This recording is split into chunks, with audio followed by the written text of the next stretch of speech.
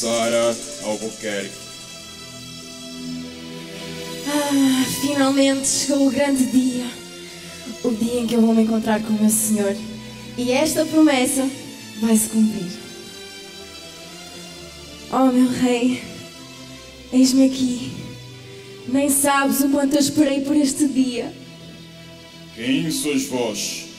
Mostre-me as suas mãos. Sou eu, obreira, não vês? Quem sois vós? Mostre-me as tuas mãos. Não! Não é justo! Olha só, as almas que eu ganhei. Eu trabalhava em todas as reuniões. E não era só quando o pastor me chamava. Eu era sempre a última a sair. Eu atendia o povo. Eu libertava. Fernanda Machado? O que é que ele está aqui a fazer? Não, só pode ser uma prova. Está amarrado! Tá amarrado? tá amarrado? Isso é uma brincadeira! Nem foi muito burro quando não te levei quando eras minha. Com esta tua boca suja. Muitas almas levaste para o reino dele. Muitas almas tu salvaste. Mas com o tempo. Com o tempo. Era a mim. Era a mim que tu escolheste. Tu esqueceste do precioso.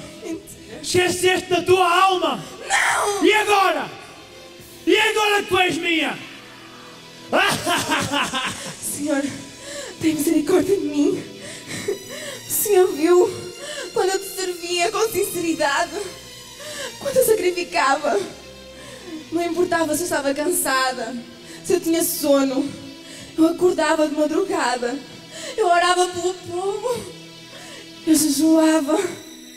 Eu queria até te servir no altar. Lembras quando ele repreendeu, tu guardaste mágoa? Deixaste os meus olhos entrar? Eu perdoei! Ainda continuas a mentir, não é, Sara?